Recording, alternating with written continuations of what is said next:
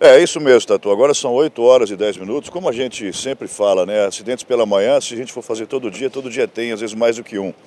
Nesse caso aqui, na Avenida Governador Parigô de Souza, este veículo Ford Fiesta, ele é conduzido por uma mulher de 50 anos de idade. A gente pode ver nesse momento que equipes do Corpo de Bombeiros socorristas estão tendo um pouco de dificuldade de retirá-la do veículo. Ela não está encarcerada, está normal dentro do carro, mas a princípio é, uma, é um ferimento na região do maxilar.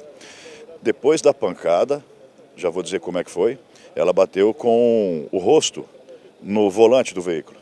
Traz para cá, vamos mostrar aqui é, mais ou menos como é que foi esse acidente, o que é que tem, que, como é que foi que aconteceu tudo.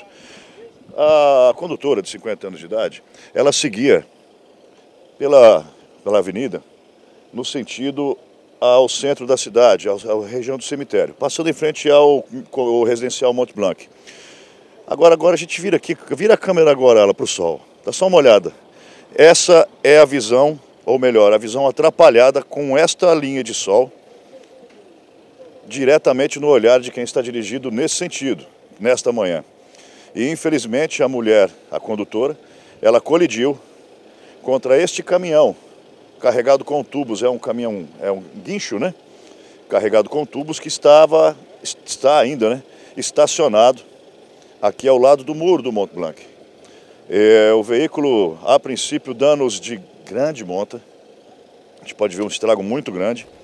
É, e a mulher agora está sendo retirada do veículo, está sendo imobilizada porque a, o ferimento é na região do maxilar. E ela sendo retirada agora, é, são ferimentos considerados moderados para graves e será agora encaminhada para a ambulância do Corpo de Bombeiros para uma avaliação, é, inclusive pela equipe, né, que vai fazer uma solicitação e um comunicado a respeito do estado de saúde dela para o médico regulador do SAMU, que por sua vez é, vai fazer uma avaliação se ela vai para o pronto atendimento ou para o hospital referência hoje de manhã. Pelo que a gente nota aqui, pela nossa experiência, pelo acompanhamento do Corpo de Bombeiros, com certeza a condutora será encaminhada ao hospital de referência, que é o Hospital Nossa Senhora Aparecida.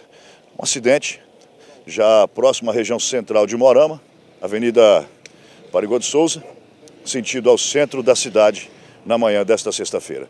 As imagens aqui são de Ala Gabriel, eu sou Alex Miranda e você está comigo na Rede TV Mais.